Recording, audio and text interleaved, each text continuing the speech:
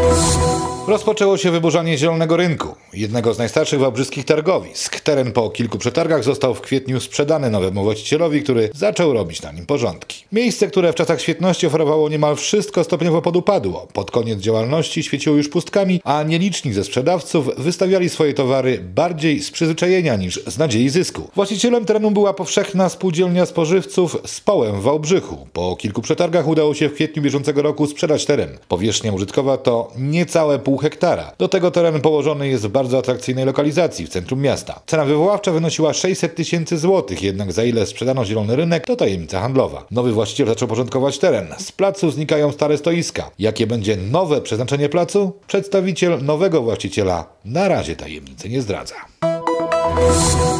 Trwa ustalanie przyczyn pożaru szpitala uzdrowiskowego Teresa w Jedlinie-Zdroju. Równocześnie rozpoczęło się porządkowanie obiektu i liczenie strat. Przypomnijmy, pożar wybuchł w nocy z niedzieli na poniedziałek w nieużytkowanym budynku przylegającym do obiektu uzdrowiskowego Teresa. Ogniem zajęły się dachy obu nieruchomości. Sprawna akcja gaśnicza pozwoliła uratować sanatorium przed większymi stratami, natomiast dość mocno ucierpiały dachy poddasze. We wtorek do obiektu wkroczyły służby, które ustalają przyczyny pożaru. Po pierwszych oględzinach policja nie ujawniła żadnych informacji odnośnie przyczyn pożaru. Jeśli są osoby, które mogą mieć jakąkolwiek wiedzę lub widziały tej nocy coś podejrzanego, powinny zgłosić się na policję. Na szczęście nikomu w czasie pożaru nic się nie stało, a osoby przebywające w tym czasie w sanatorium wróciły bezpiecznie do domów. Obecnie trudno powiedzieć, kiedy szpital powróci do normalnego funkcjonowania. Spółka przypomina jednak, że leczenie w pozostałych obiektach uzdrowiskowych w Jedlinie Zdroju odbywa się normalnie.